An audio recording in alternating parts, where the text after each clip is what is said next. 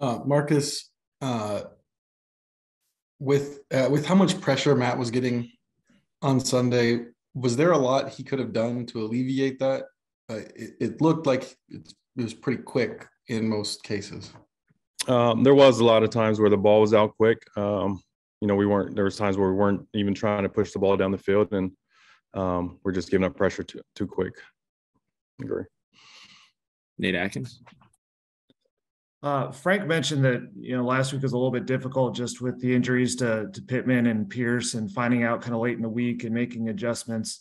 But that's going to happen sometimes in the NFL. So, uh, what what do your receivers need to do, and, and, what do you guys need to do as a staff to kind of get this ready so that you know a shutout loss like you had in Jacksonville never happens again?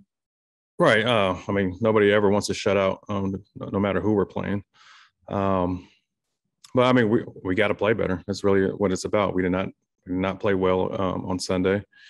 Um, yes, we did have some challenges as far as planning on who was in, who was out um, going in, and we had to make some adjustments Saturday um, once we found out Pitt was not going to be available. Um, but I mean, that's part of the business. That's part of the NFL. It's going to happen, and um, you know, it's on it's on us coaches to you know still get our guys ready to play on Sunday morning. George Bremer. Marcus, during the evaluation this week, I mean, obviously can't get into specifics, but have there been changes considered on the offensive line on the makeup of that unit?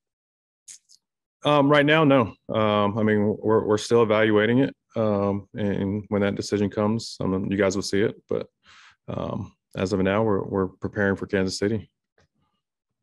Kimbo, Marcus, um, if at all, have you seen Frank change or I don't know, maybe alter his leading style based off how last season ended and the start to this year? You guys have not really had a rut like this in, in your tenure um, as a coaching staff. Have you seen anything change from him over the last few weeks?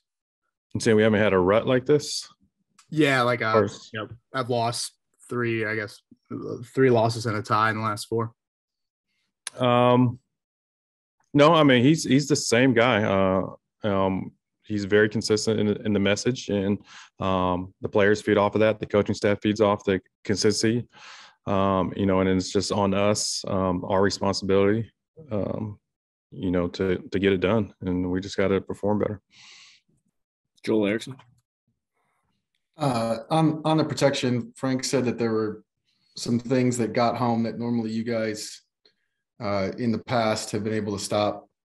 Why oh yeah, yeah, I mean, as you, as you saw, um, we struggled a lot, quite a bit with the twist game, and that's definitely something that we are going to um, work on this week.